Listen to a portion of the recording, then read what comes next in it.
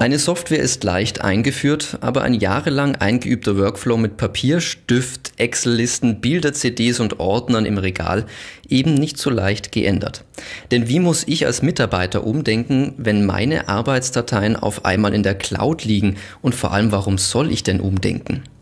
Willkommen zur zweiten Ausgabe des Cloud Podcasts. Ich bin heute bei meinem ehemaligen Arbeitgeber Celum und bei mir zu Gast Michael Kräftner, CEO von Celum. Celum ist eine Content Collaboration Cloud für Assets, hauptsächlich für den Marketingbereich. Michael, Cloud ist das große Stichwort, mit dem ihr auch werbt. Wie definierst du den Begriff Cloud für dich? Ja, einmal hallo und willkommen bei Celum. Äh, freut mich sehr. Ähm, wie definiere ich den Begriff Cloud für mich? Also ich bin ja noch quasi, also ich bin schon alt genug, um den, den, den, erst, die erste, den ersten Stoß in Richtung Cloud miterlebt zu haben. Damals haben wir das noch ASP, Application Service Providing genannt. Ähm, die Idee war ja damals wie heute eigentlich gut. Das heißt, dass ich eine zentrale Stelle habe, ähm, wo sozusagen Stakeholder aus unterschiedlichen Teams auf quasi ähm, den gleichen äh, Content zugreifen können.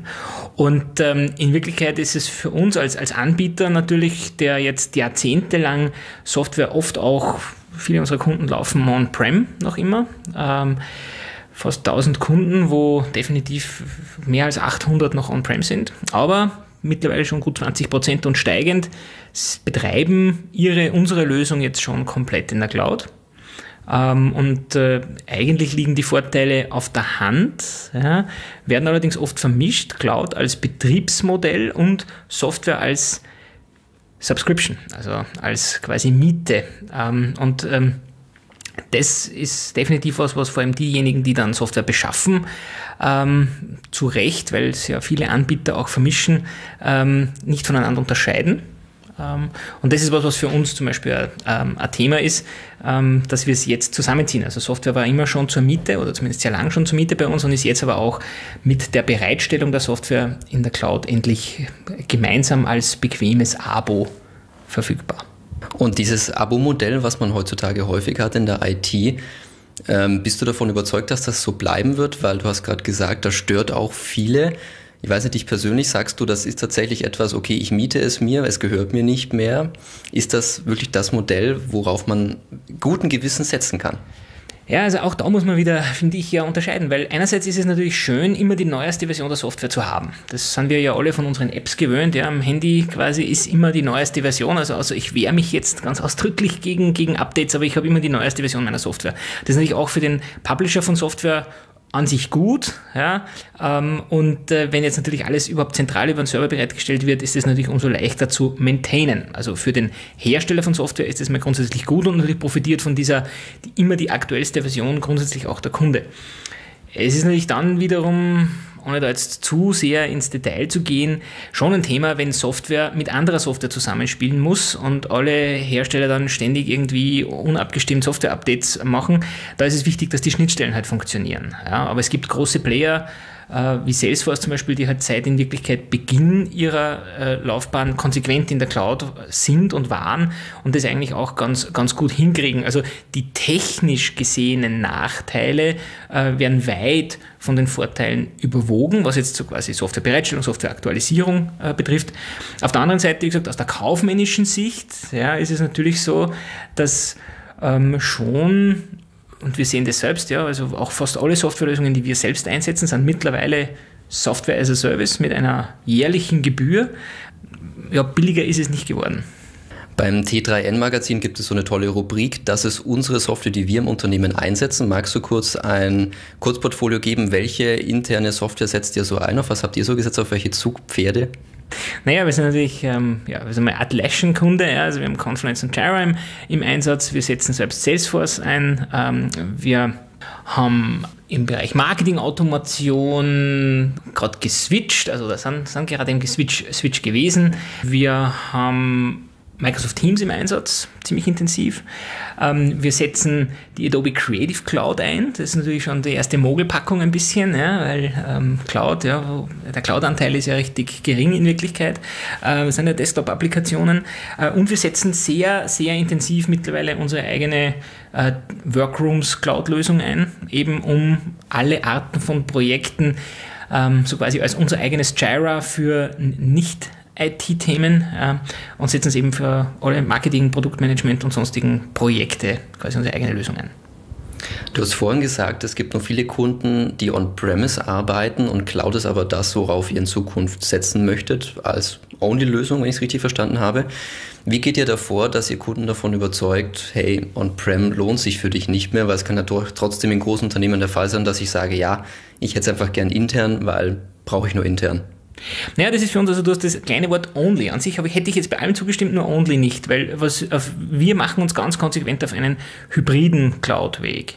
Das geht auch nicht anders. Also durchaus neidvoll, sage ich ganz ehrlich, blicke ich auf, auf Salesforce. Ja. Salesforce kann problemlos alles in der Cloud bereitstellen. Wir haben bei vielen, nicht allen, aber bei vielen unserer Kunden das Thema, dass sie einfach sehr, sehr große Byte-Mengen bewegen. Und interessanterweise ist ja sogar die Bandbreite pro Arbeitsplatz in den letzten Jahren sogar am Sinken. Also ähm, es ist also nicht so, dass, äh, dass quasi die Cloud für jeden einzelnen Mitarbeiter äh, so quasi ganz nah an ihn heranrückt und es ein total seamless Experience, wie man so schön sagt, wäre.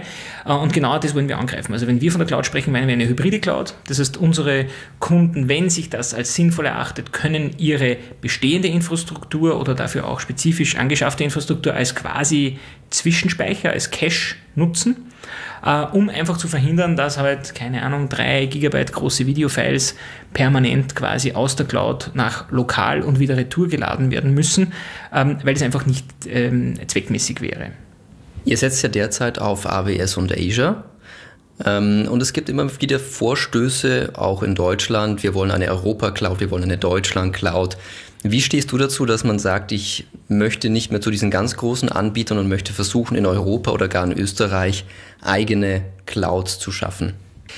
Ja, grundsätzlich ist die Idee an sich ja gut, ja, also ein, ein europäisches, aus europäischer Wirtschaftspolitik heraus zu sehen, ein, ein, Gegengewicht zu schaffen. Das Problem ist nur, es hat so ein bisschen was von Planwirtschaft, weil aus mehreren Gründen. Das erste ist natürlich, ähm, und da leidet halt ganz Europa grundsätzlich darunter, dass wir, wenn wir SAP jetzt mal ausnehmen, eigentlich keinen großen Software-Leitbetrieb in Europa haben. Also alle großen Player sitzen in Amerika und natürlich, wenn ich Microsoft bin, dann ist das eine amerikanische Cloud. Äh, wenn ich Amazon bin, ist es eine amerikanisische Cloud. Ähm, wenn ich Google bin, ist es eine amerikanische Cloud. Und da straft es uns jetzt, dass wir keinen lokalen europäischen Big Player haben. Wie gesagt, mit der Ausnahme von vielleicht von SAP. Das heißt, selbst wenn A, es gelingen würde, jetzt irgendwie eine halbstaatliche oder zumindest durch äh, Institutionen der EU koordinierte Cloud zu schaffen, dann ist es halt quasi ein semi-öffentliches Projekt, das immer im Wettbewerb mit quasi privat geführten und bereits sehr stark etablierten Cloud-Anbietern konkurrieren wird. Ähm, nämlich doch zunehmend kommen sich ja die Chinesen ins Spiel. Und das Zweite, das Zweite ist, und das darf man auch nicht unterschätzen, dass zum Beispiel gerade Microsoft ähm, seinen Footprint in den Corporates ganz, ganz, ganz, ganz intensiv nutzt, um Azure zu verankern. Und wie gesagt, also da stellt sich dann trotz allem für europäische Unternehmen äh, irgendwann die Frage, ja, es wird immer die Frage sein, was ist kaufmännisch gescheiter, äh, nur um einen Beitrag zur europäischen Wirtschafts- und Digitalpolitik zu leisten, werden wahrscheinlich die wenigsten Unternehmen an 20, 30, 50 Prozent Kostenaufschlag, den das vielleicht netto bedeutet, in Kauf nehmen. Aber du siehst da für dich und deine Software, dein Unternehmen keine Gefahr, sage ich mal, auf so einen Player zu setzen auf lange Sicht?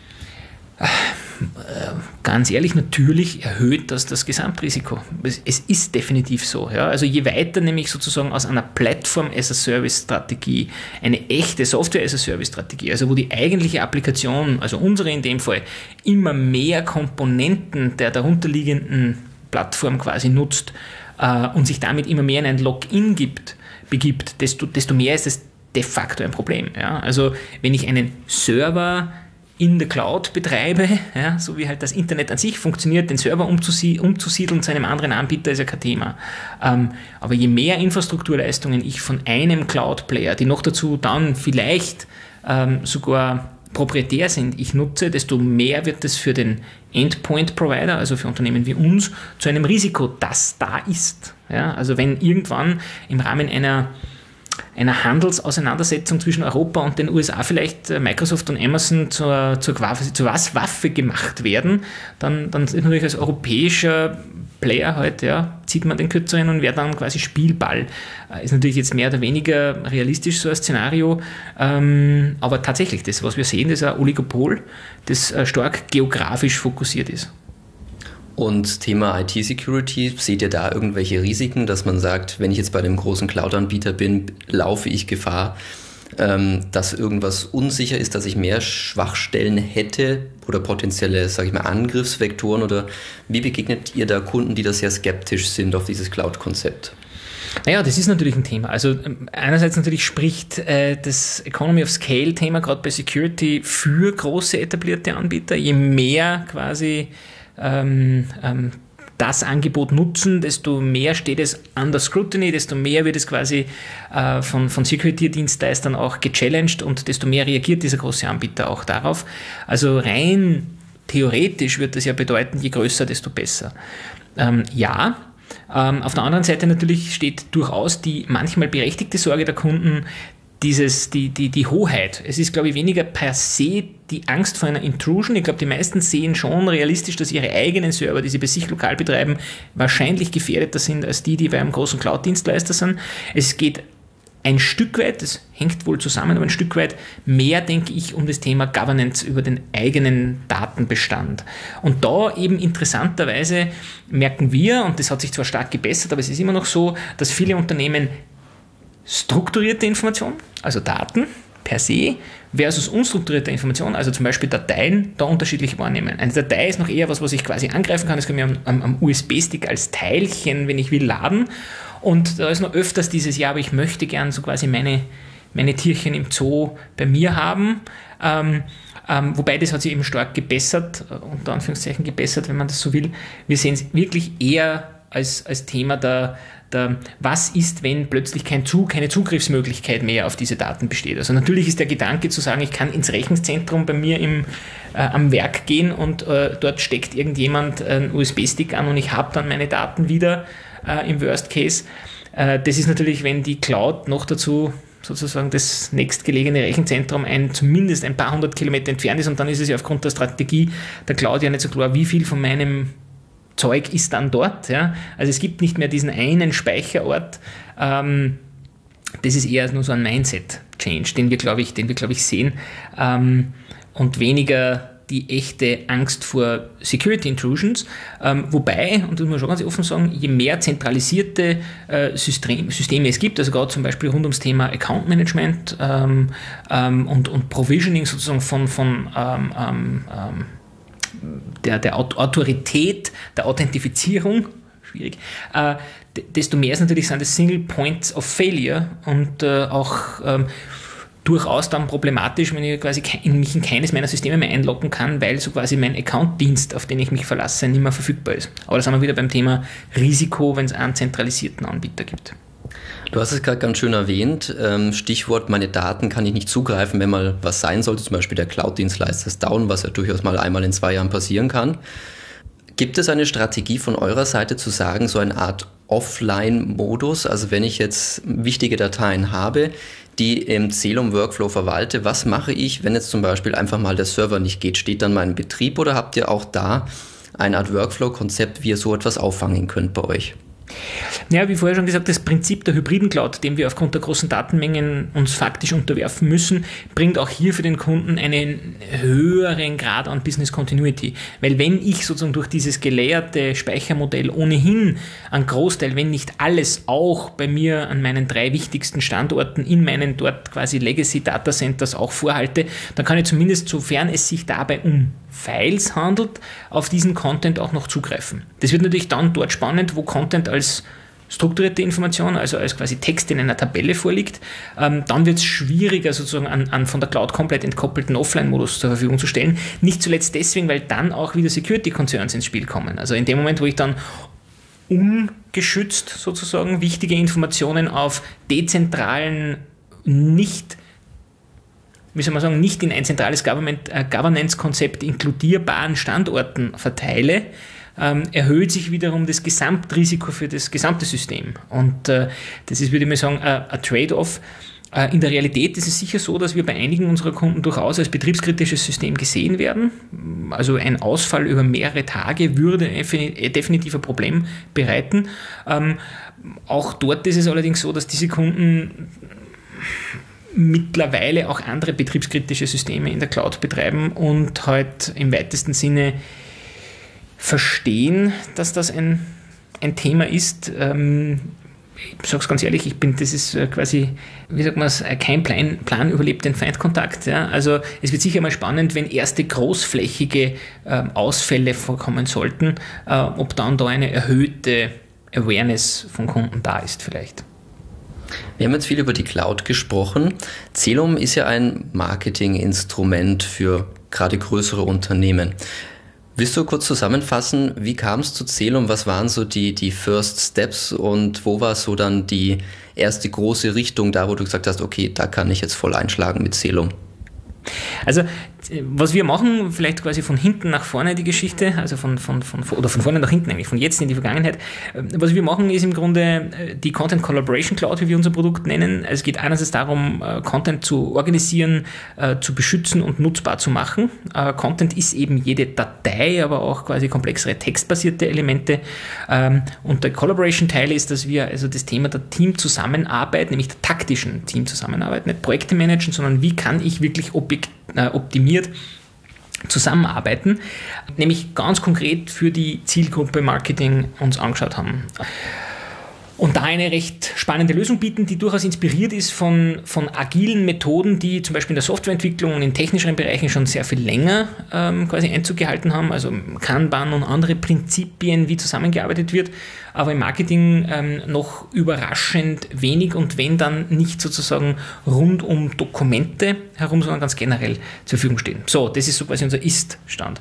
Ähm, wenn man jetzt 15 Jahre in die Vergangenheit schaut, wo im Grunde Celum losgegangen ist, ähm, da ist es losgegangen mit dem Thema Content. Und die Idee ist eigentlich daraus entstanden, dass wir damals äh, als Dienstleister einen sehr großen Kunden gehabt haben, eher ein österreichisches Unternehmen, äh, der noch immer Kunde ist. Und ähm, die waren damals schon groß genug, um festzustellen, dass sie ein Problem mit vielen Silos, wenn man so will, haben. Also Content sehr viel Files, waren in etlichen Systemen, vom Filesystem bis hin zu Content-Management-Systemen, Web-CMS und so weiter, irgendwo abgelegt und haben halt versucht, im Rahmen einer Ausschreibung Lösungen zu finden, die genau dieses Problem angehen. Also Dokumentenmanagement fürs Marketing oder für die Kommunikation. Und überraschenderweise auch für uns, wir haben das damals als Dienstleister begleitet, diese Ausschreibung, gab es damals so gut wie keine Produkte, die das taten. Und aus dem heraus war dann für uns die Idee geboren, zu sagen, na okay, wir, wir bauen es halt. Ähm, und waren damals ohnehin auf der Suche, uns vom Dienstleister zum Produkthersteller zu wandeln. Und das war tatsächlich die Geburtsstunde für unser damals beginnend als wirklich rund ums Thema Bilder, also zuerst mal als quasi Flicker auf Speed für Unternehmenseinsatz und dann halt irgendwann immer mehr, immer breiter gefächert, immer das Thema, welche Art von Content und vor allem wie Content im Unternehmen lebt und möglichst effektiv eingesetzt werden kann. Ähm, und dann vor so vier Jahren haben wir uns mal die Frage gestellt, wir reden eigentlich immer nur davon, dass ein fertiges Dokument, wenn man so will, ein fertiges Piece of Content äh, dann geschützt werden muss und brand korrekt, also markenkorrekt quasi eingesetzt werden soll. Aber wir haben uns eigentlich äh, nie Gedanken darüber gemacht, wie die Erstellung, also wie kommt es zu diesem Piece of Content. Wir haben nur mal mitgekriegt, dass viele unserer Kunden damals schon gestruggelt haben. Da wurden halt Dropbox und, und, und, und WeTransfer wird verwendet, um halt halbfertige Dinge zwischen Agenturen, also zwischen, das ist ja auch das Spannende, durchaus auch ein Vorteil der Cloud, dass man über Unternehmensgrenzen hinweg halbwegs gleichberechtigt zusammenarbeiten kann. Ähm, aber es waren trotzdem Krücken und wir haben uns dann dazu entschlossen und haben überlegt, wie, wie machen wir eigentlich, wie erstellen wir eigentlich unseren Content? Software ist ja eigentlich auch Content und wir haben ja halt schon viele moderne Tools oder Tools, die einfach in der modernen Softwareentwicklung nicht mehr wegzudenken sind, schon im Einsatz, Jira zum Beispiel. Ähm, hat Marketing was Vergleichbares und dann ist es dünn geworden. Also es gibt im Marketing oder gab damals, zumindest vor dreieinhalb Jahren, wenig, was in die Richtung ging. Und wir haben gesagt, okay, ähm, nutzen wir doch unsere Kenntnisse einerseits des, des größeren Felds Marketing und unsere Kenntnisse sozusagen aus, aus, aus quasi moderner, agiler Zusammenarbeit, die wir selbst schon eingesetzt haben und denken wir das mal sozusagen neu in Kombination. Und daraus hat sich eben dann schlussendlich die zweite Hälfte unseres Produkts ergeben. Und jetzt ist es halt eine Verquickung dieser beiden Seiten aus Content Management und Teamwork Management.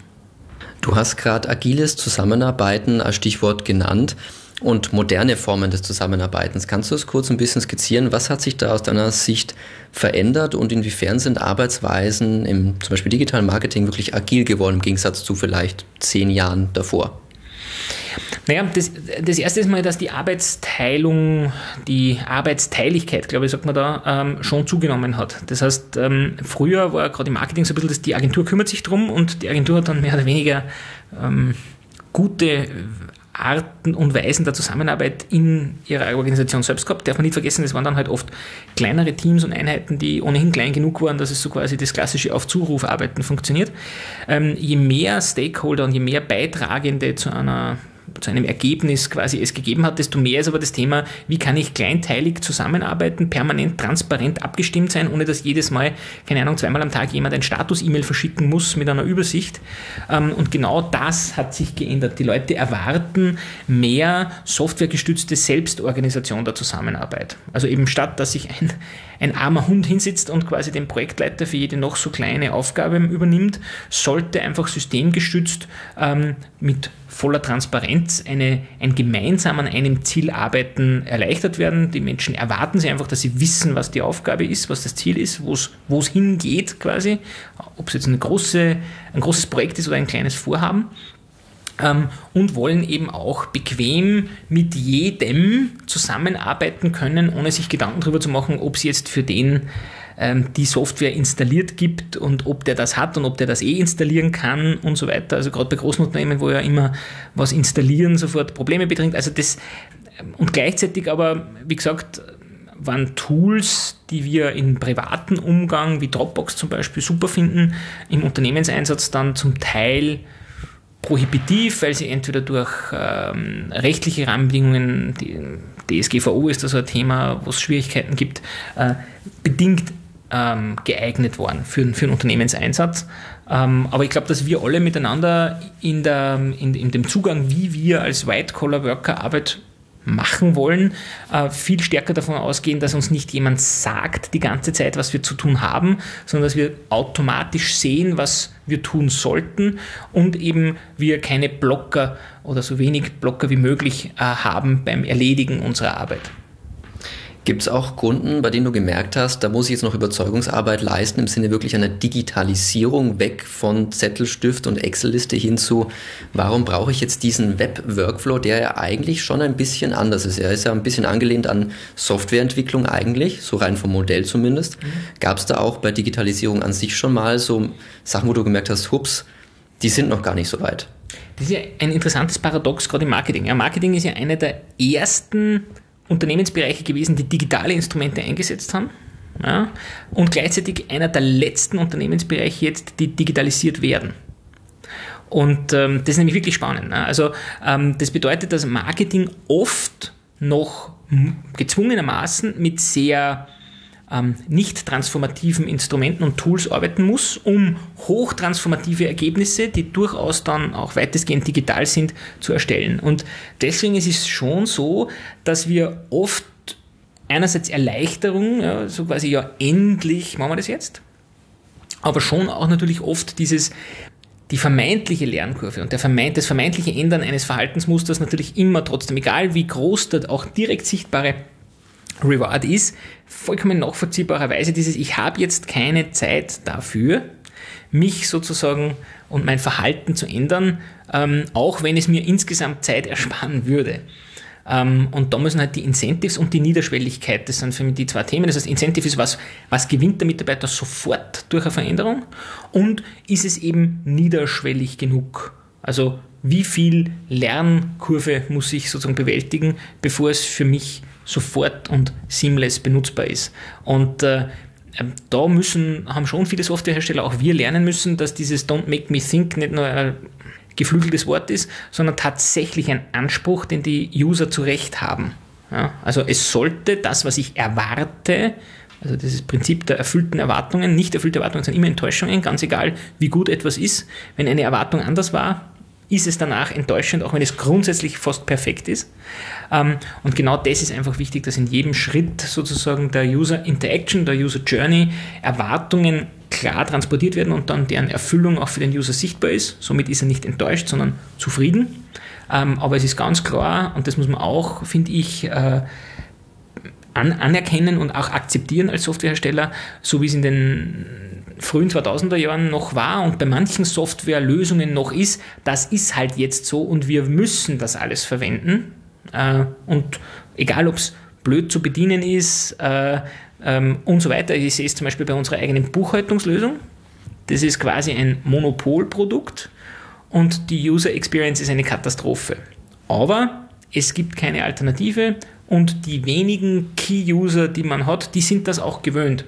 Und alle anderen, die damit arbeiten müssen, kurzzeitig werden quasi kriegen ein Aneurysma davon ähm, und wehren sich so gut es geht. Also genau so soll es nicht sein. Für uns ist es halt genau umgekehrt, wir können unsere User nicht dazu zwingen. Niemand kann sie in der Regel zwingen, sie müssen von sich aus wollen und das ist durchaus eine, eine Herausforderung für das Thema User Experience Design, User Experience Konzept. Gibt es denn jetzt für die nächsten Jahre, nachdem ihr schon viele Schritte gemacht habt in den letzten zehn Jahren, noch äh, Roadmaps, die du dir gesetzt hast oder Visionen gerade auch im Bereich Workflows, wo du sagst, das wird so das nächste Ding, auf das wir achten müssen oder was wir angehen möchten? Also wir müssen auch ganz ehrlich gestehen, dass wir quasi, was die Cloud betrifft, eher late at the party äh, waren. Ja, nicht zuletzt deswegen, weil halt viele Kunden sehr, Kunden sehr lange Vorbehalte hatten, ähm, aber wir haben es auch technisch zu lasch oder ähm, muss man in aller Ehrlichkeit sagen, zu lasch angegangen.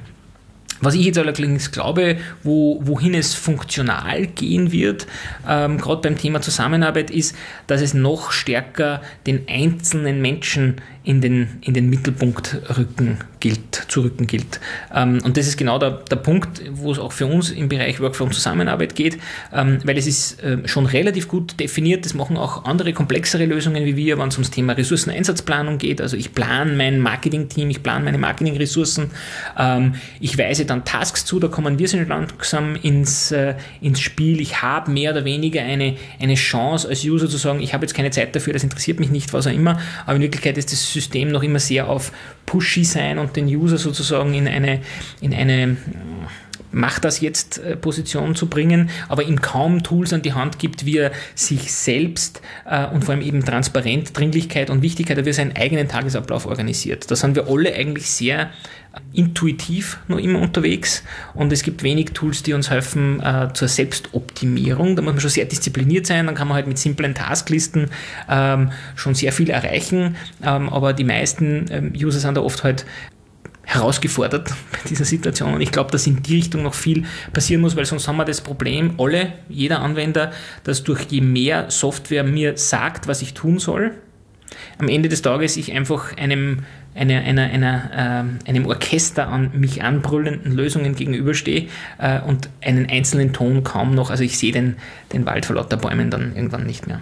Du hast gerade Selbstoptimierung genannt und du bist ja quasi den langen Weg gegangen von ich habe eine Idee, ich arbeite mich nach oben und jetzt habe ich quasi ein mittelständisches Unternehmen und es gibt ja auch in Linz ein paar Startups und auch wieder die Frage, naja, wie würde ich jetzt eigentlich vorgehen, wenn ich sage, ich habe eine Idee, gerade im technischen Universum was kannst du jungen Leuten sagen, die vielleicht auch ein Unternehmen gründen wollen, eine Idee haben, eine App programmieren wollen oder etwas auf diesem Gebiet rausbringen möchten? Puh, da gibt es einiges. Also ähm, das, das, das, erste Mal ist, dass wenn, wenn man ein technischer Gründer ist, sollte man nicht unterschätzen, dass man neben der technischen Kompetenz auch die vertriebliche vor allem äh, braucht und die, nennen wir es mal, finanzielle und fürs Operations-Thema äh, seiende. Und das gilt quasi für jeden dieser drei Aspekte. Also das macht so quasi den Nukleus jedes Unternehmens aus, dass es jemanden gibt, der sich für den Vertrieb kümmert, jemanden, der sich ums Produkt oder die Dienstleistung kümmert und jemand, der sich um ähm, sozusagen ja, Running the Company kümmert. Ähm, und ich habe mit einigen Startup-Gründern in den letzten zwei, drei Jahren zu tun gehabt, die aus einer dieser drei Seiten gekommen sind und jeweils die anderen beiden Elemente als das nehmen, das, das holen wir uns dann schon, wenn es notwendig ist. Und ich glaube daran, dass man äh, sicherstellen muss von Anfang an, entweder weil man ein Team aus mehreren Gründern ist und das alles covert, oder weil man sofort intensiv darauf schaut, dass man ins Team sich Leute reinholt, die genau das abdecken können. Ähm, also ein ausgewogenes Team, weil das beste Produkt quasi ohne Vertrieb nichts wert ist und sozusagen der beste Vertrieb ohne ordentlichen Produkt auch nichts wert ist. Also das ist, das ist mir, mir ganz wichtig, dass es ausgewogen ist. Darüber hinaus finde ich, ist eben ähm, know, know, Your Market, ähm, nämlich zu wissen, was bedeutet es, mein Produkt, meine Dienstleistung erfolgreich verkaufen zu können. Und da ist auch was, wo ich glaube, dass viele also kein noch so gutes Produkt eben, wie gesagt, verkauft sich von selbst. Auch wenn es, wenn du einen jemanden hast, der gut verkaufen kann, heißt es noch lange nicht, dass die Mischung aus Produkt und Go-to-Market-Strategie automatisch zum Erfolg führen wird. Schönes Beispiel ist YouTube. Ja, das hat total abgehoben und das war extrem knapp, dass die Jungs damals geschafft haben, dass sie ähm, den, das Skalieren des eigenen Produkts gerade noch irgendwie so halt bewältigt haben. Weil wenn das quasi irgendwann mal gebrochen wäre, dann wäre es halt aus gewesen. Ja, dann wäre der, der Run zu Ende gewesen und heute wird kein Mensch YouTube kennen. Also da gibt es viele Beispiele, auf die man durchaus auch schauen kann. Ähm, in Wirklichkeit, äh, den, den Gründern, was ich einmal mitgebe, ist ähm, vorsichtig mit Managementliteratur. Ähm, ich persönlich ein, ein, Buch, das ich großartig finde, weil es die Schattenseiten auch beleuchtet. Das ist eben The Hard Thing uh, About Hard Things von Ben Horowitz. Das kann ich dringend empfehlen.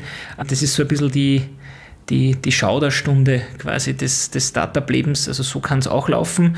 Uh, die haben am Ende um über 1,6 Milliarden Dollar verkauft. Also das war dann schon erfolgreich, aber es war eine, ein, ein, ein Lehrstück, was alles schiefgehen kann und das sollte man sich durchaus auch hin und wieder in Erinnerung rufen, dass man auch für schlechtes Wetter gerüstet sein sollte. Das heißt, wenn jetzt Microsoft vor der Tür steht und sagt, ich würde gern Celum kaufen, was wäre deine Antwort? Äh, wird sehr teuer. Celum in fünf Jahren in Kürze.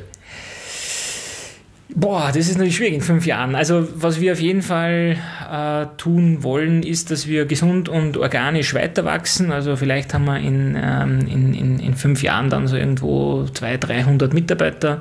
Ähm, sind definitiv in Amerika gut verankert. Das ist so unser nächstes Ziel geografisch, dass wir sozusagen, wir haben knapp 50 Kunden in Amerika, aber da würden wir gern mehr draus machen, also Nordamerika als Ganzes natürlich betrachtet. Und ja, weiterhin quasi uh, building, building cool shit. Michael, vielen lieben Dank. Vielen Dank, mich sehr gefreut.